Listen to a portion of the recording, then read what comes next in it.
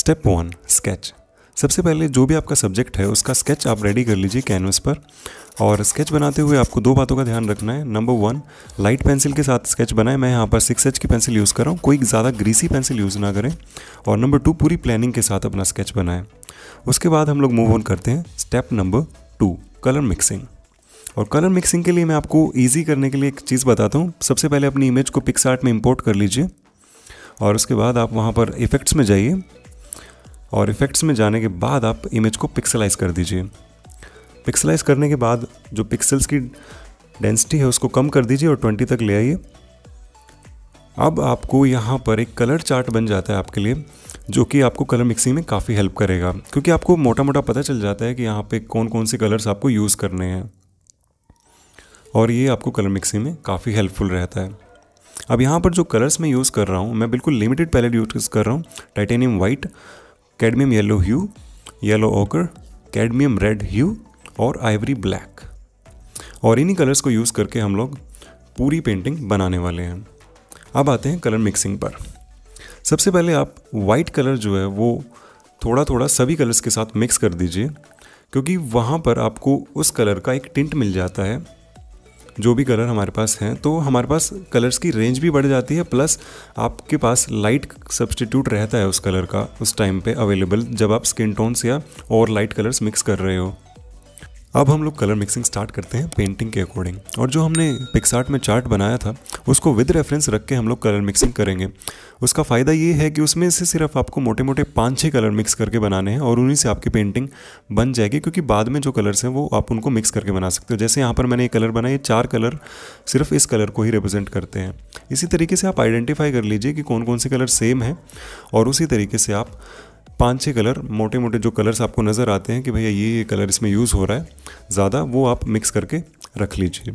और एक चीज़ दोस्तों, अगर आप चाहते हैं कि सिर्फ़ स्किन टोन पर एक वीडियो बनाऊँ तो आप मुझे कमेंट में ज़रूर बताएँ। और जो कलर्स के अरेंजमेंट है, उसको आपको डार्क टू लाइट रखना इससे हमें पेंटिंग करते टाइम कलर्स को पिक करने में काफ़ी आसानी रहेगी।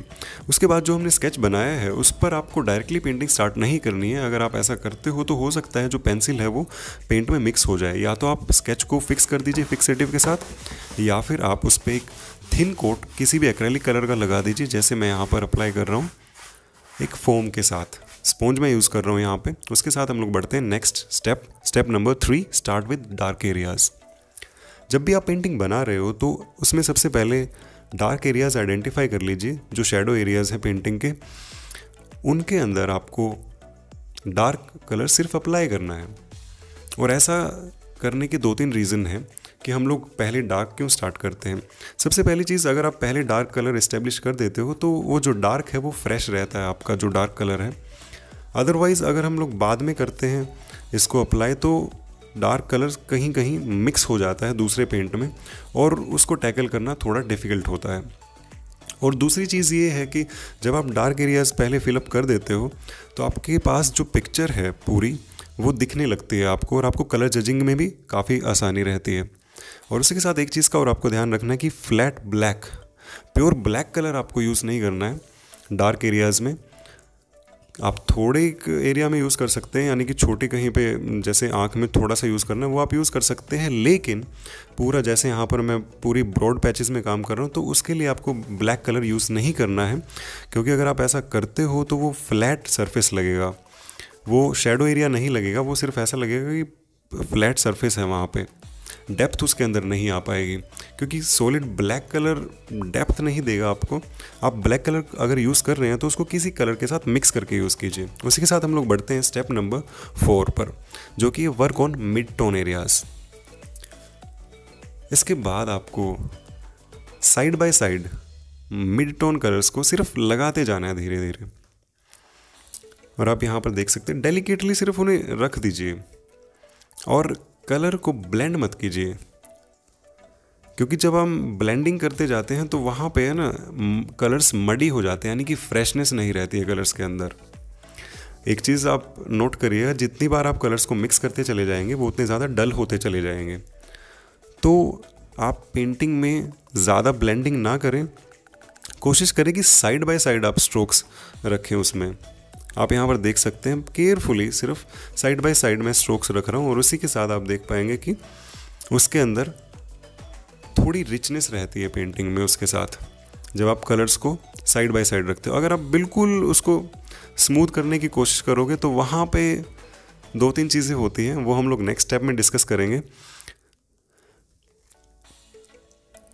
अब आप यहाँ पर देख सकते हैं मिड टोन एरिया हमने पूरा ही लगभग फेस कवर कर दिया, क्योंकि इसके बाद हम लोग करने वाले हैं हाईलाइट्स और जब हम लोग हेयर जैसे हम मैं बना रहा हूँ यहाँ पे तो इसके लिए आप ब्रॉड पैचेस यूज़ कीजिए मतलब बड़ा बड़ा ब्रश यूज़ कीजिए। और इसके साथ हम लोग बढ़ते हैं स्टेप नंबर फाइव पर, जो कि है हाईलाइट्स अब हाईलाइट्स आपको बहुत ही डेलिकेटली लगाने हैं। डेलीकेटली मतलब कि आपको जो नीचे कलर है, उसको डिस्टर्ब किए बिना आपको सिर्फ़ ज़्यादा प्रेशर नहीं देना है ब्रश के ऊपर।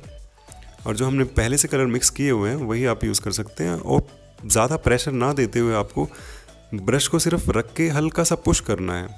आप यहाँ पर देख सकते हैं।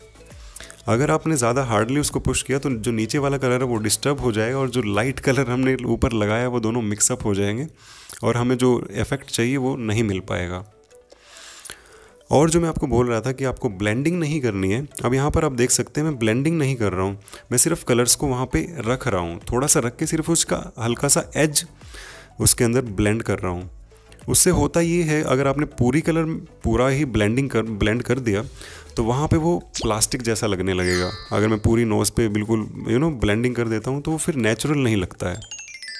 वो प्लास्टिक जैसा लगने लगता है फिर। तो वो नेचुरल इफ़ेक्ट आप रखने के लिए ओवर ब्लेंडिंग ना करें। मैं यहाँ पर बिल्कुल ब्लेंडिंग नहीं करने को कह रहा हूँ। ब्लेंडिंग आप कर सकते हैं, लेकिन ओवर ब्लेंडिंग ना करें। अगर आपने सभी चीज़ें स्मूथ कर दी तो फिर वो एक वैरायटी ख़त्म हो जाती है और हमें लाइफ में वैरायटी तो चाहिए ही। और इसके साथ आपको एक चीज़ जो सबसे ज़्यादा करनी है, वो है एन्जॉय एन्जॉय द प्रोसेस अगर आप प्रोसेस को इन्जॉय नहीं कर रहे हो तो आउटकम उसका इतना अच्छा हो सकता है ना आए। क्योंकि जब हम लोग प्रोसेस को एंजॉय करते हैं तो वहाँ पे you know it's like playing कि जब आप खेल रहे हो तो आपको खेल का मज़ा लेना है सिर्फ़। तो ही आपको उसका बेनिफिट मिल पाएगा। अदरवाइज़ तो आप सिर्फ़ वहाँ पे टाइम वेस्ट करके आ जाओगे। तो ये सब चीज़ों का आपको ध्यान रखना है। सो so, अब यहाँ से हम लोग बढ़ते हैं पेंटिंग को रिफाइन करने की तरफ़। अब हमारा जो मेन फोकस था वो पोर्ट्रेट पर था। अब हम लोग साइड की ड्रेस और जो भी एरियाज़ रह गए हैं, उन पे हम लोग काम करते हैं। अब जो इसकी ड्रेस है, वो ऑरेंज कलर की हमें बनानी थी, लेकिन मुझे वो ऑरेंज जचा नहीं। तो फिर उसको मैं चेंज कर रहा हूँ। अब यहाँ पर ट्रायल एंड एरर काफ़ी सारे होते रहते हैं। तो उससे आप ना डरें, एक दो पेंटिंग ख़राब हों, कोई बात नहीं, दोबारा ट्राई कीजिए।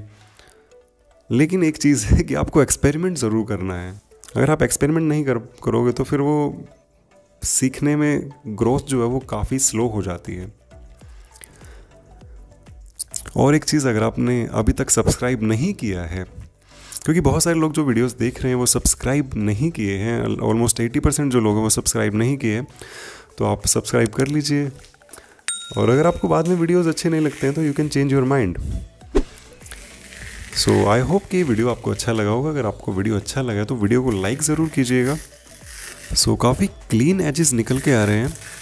और इसी के साथ दोस्तों पेंटिंग हमारी रेडी है। मिलते हैं आपसे अगली वीडियो में, तब तक के लिए हैप्पी पेंटिंग आपने मुझे इतना समय दिया, उसके लिए बहुत बहुत शुक्रिया।